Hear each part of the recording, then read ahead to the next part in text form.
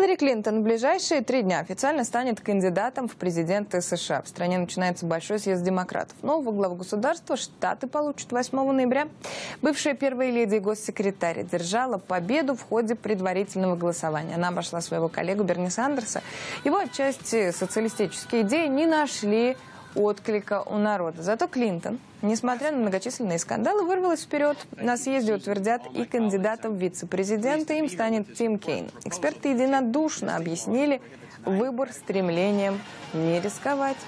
Кейна называют надежным тяжеловесом с незапятнанной репутацией. Это идеальная кандидатура для второго по значимости поста в стране.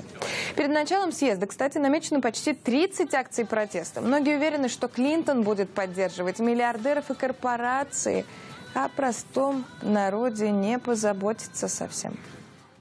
А тем временем сводный брат нынешнего президента Малик Обама заявил, что будет голосовать не за партию родственника, а за республиканцев.